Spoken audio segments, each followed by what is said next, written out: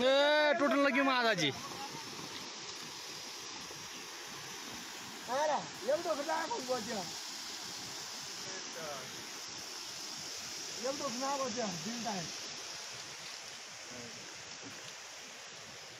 T पैदल मार्ग में एक पेड़ गिरने से एक टिन सेट जो टूटा हुआ है और उसमें जो एक जगह पर पानी भी आ रहा है ऊपर नाले का जिसकी निकासी के लिए पीडब्ल्यू विभाग को अवगत करा दिया वन विभाग को, ताकि उसको जहाँ पे रोड ब्लॉक है,